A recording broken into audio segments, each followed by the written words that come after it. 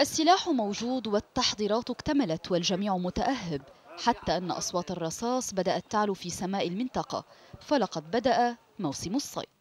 فرغم أن المراسيم التطبيقية لتشريع الصيد في لبنان لم تقر حتى اليوم إلا أن هذا الواقع لم يلجم محبي الصيد عن ممارسة هوايتهم.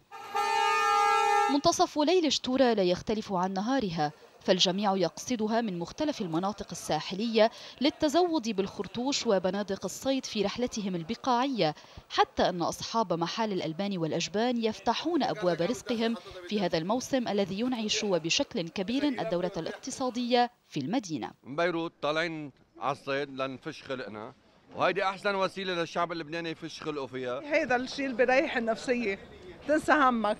ضروري الصيد لأنه عندك 365 يوم عذاب في هالموسم. نتمنى على الدولة إنه تخلينا نتصيد يعني وتفتح لنا مجال للصيد. هلا أول موسم.